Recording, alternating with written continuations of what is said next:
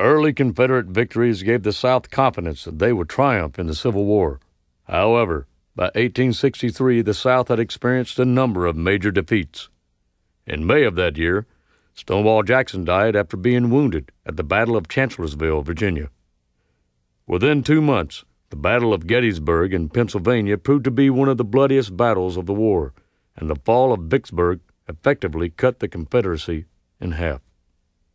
Just as Southern confidence in the war effort began to falter, the victory by Confederate troops at Sabine Pass provided a much needed boost to morale. In this context, the successful defense of Sabine Pass, where Dowling and his men achieved the victory with few resources, while the Union suffered a large defeat, was almost unimaginable. President Jefferson Davis praised the Davis Guard, calling them marvelous and without parallel in ancient or modern war. In the North, weariness with the war and the Confederate victory led many to believe the South to be unconquerable. Eventually, General Ulysses S. Grant provided victories that led to the Union's success in the Civil War.